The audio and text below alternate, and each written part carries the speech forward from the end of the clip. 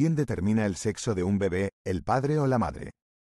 El sexo del bebé es determinado por la combinación de cromosomas sexuales heredados de los padres. Normalmente, las mujeres tienen dos cromosomas sexuales X, mientras que los hombres tienen un cromosoma X y un cromosoma Y. Durante la fertilización, si el espermatozoide que fecunda el óvulo lleva un cromosoma X, el bebé será genéticamente XX, lo que resulta en una niña. Si el espermatozoide lleva un cromosoma Y, el bebé será genéticamente XY, lo que resulta en un niño.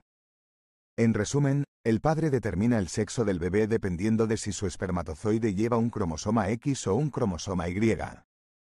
Gracias por tu visita. Si te ha gustado el vídeo no olvides darle like y seguirnos.